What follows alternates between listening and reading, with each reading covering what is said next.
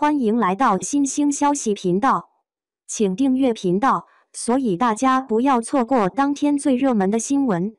我们今天的时事通讯包括以下内容：为什么说李沁五官扁平？看到她的无修生图，我明白了，长相对于女人来说是很重要的。不同长相的女人需要用不同的发型、妆造以及服装来改善面部细节。这样才能让面部拥有完美无瑕的感觉。有些女人的面部五官比较扁平，所以想要提升个人气质会相对困难一些。那么本期绵绵就以李沁的搭配为例，来跟大家分享一下五官扁平的女人应该如何改善面部瑕疵。其实绵绵之前一直不理解，为什么很多网友都说李沁五官扁平。看到她的无修生图。我明白了，在李沁的无修生图中，她的儿苹果肌并没有想象中那么饱满，而且鼻梁也算不生很挺拔。虽然这些面部特点都没有影响到整体美感，但却会导致她的面部显得不够立体。但李沁能够通过搭配妆造、服饰等方式来改善面部瑕疵，让面部优势得以展现，所以在无修生图下。她依旧显得很有气质感。对于五官扁平的女人来说，在搭配时候适当降低面部吸睛效果，是可以有效改善瑕疵的。大家可以通过放大身材优势的方式来淡化面部缺点，这也是一种扬长避短的方法。李沁的搭配就很简单，她用短袖 T 恤搭配短裤进行搭配，将腿部优势展现出来。让身材曲线看上去显得更加流畅。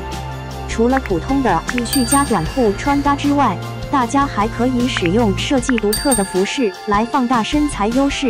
例如李沁这身沙滩风清爽穿搭，她用镂空上衣与抹胸背心组合，下半身搭配短款牛仔裤，这样的穿搭不仅可以放大身材优势。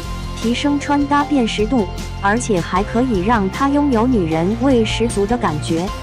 放大身材优势的方法有很多，但由于每个人的身材优势都不一样，所以在搭配的时候需要结合自身特点来搭配，这样打造出来的穿搭才会显得更加完美。如果大家对服饰搭配不够了解，可以试试自带修身设计的宽松服装。用这些服装打造穿搭没有那么容易出错，想穿出时尚高级感会更简单。在打造穿搭的时候，大家可以通过搭配妆造、发型等方式来改善面部瑕疵，这样做更容易提升穿搭精致度，将高级又时髦的感觉呈现出来。即便是五官扁平的女人，在搭配过程中能将妆造细节处理好。那么也同样可以让面部拥有立体感。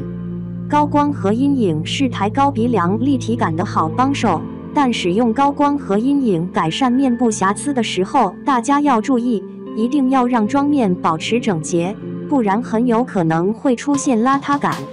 如果山根起势很低，而且鼻梁还不高，可以适当加深眼眶，这样能进一步抬高鼻梁。让面部五官看上去显得更加立体。除了鼻梁之外，脸颊两侧的妆造细节也是需要注意的。绵绵建议大家在化妆的时候适当搭配腮红，这样可以让面部看上去显得更有血色，而且这样还可以放大面部五官优势，是提升气质的好方法。腮红只需要淡淡一层就足够了，不要让它看上去显得太刻意。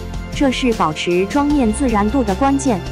不论面部五官特点如何，都可以通过服饰、妆造等搭配来改善。虽然每个人的面部特点不同，但是搭配妆造的思路是差不多的。穿搭小白可以试试放大身材优势，利用身材优势淡化面部瑕疵，或者通过化妆的方式去隐藏瑕疵，搭配出扬长避短的效果。